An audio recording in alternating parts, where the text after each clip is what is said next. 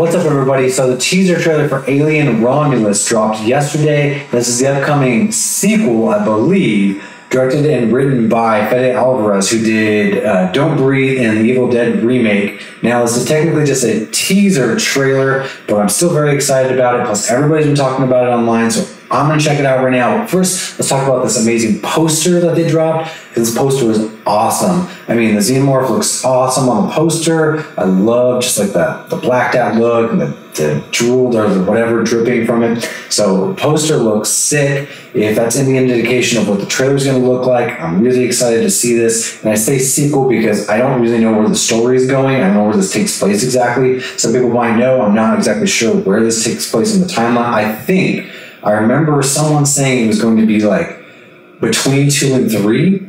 So it's like a sequel to two, but before Alien 3. Could be wrong on that. I'm not 100% sure, but I'm super stoked that this is directed by Fede Alvarez. I'm excited to see what he's going to bring to it. So let's get into it.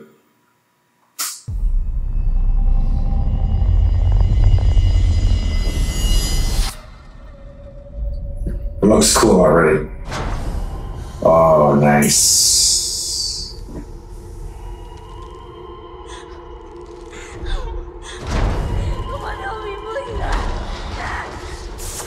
no, no, no. Get it away.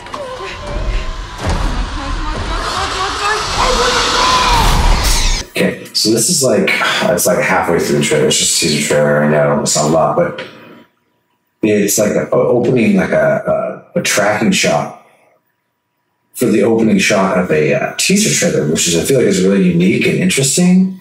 That they that they're just basically showing like this one shot. I guess I don't know. I feel like teaser trailers are so choppy nowadays. It's interesting to just see like a oner.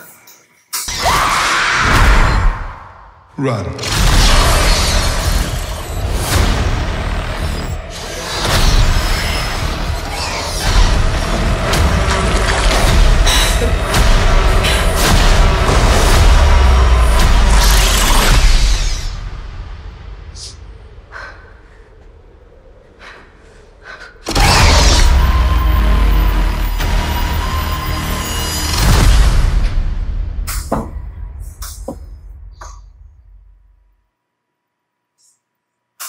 Dang. Well, like I said, it's just a teaser trailer, so it didn't give us a ton, but plenty to get excited about. It looks like it's shot fantastically. Uh, the xenomorph looks cool from what I can tell. Um, the, quick shot, I mean, I, I could pause it and look at it better, but I, it didn't. I just watched it through, and then. Um, but yeah, the atmosphere looks great. The ship looks awesome. The uh, cast, I don't immediately recognize anybody, but I also didn't really pay that much attention to who they were. Um, I think it's just really cool. The ship looks cool. It, lighting looks awesome. Um, it does look a little bit like sharp and digital looking to me, but that's not necessarily a bad thing in terms of this trailer.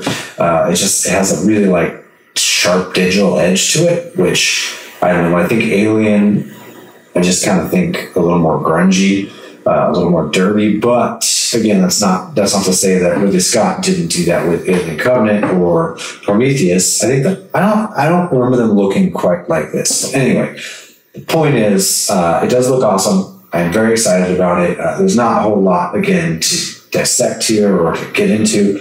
Uh, I don't really know where this takes place still. I'll have to just read, look into it. I'm sure people know, and I just don't know.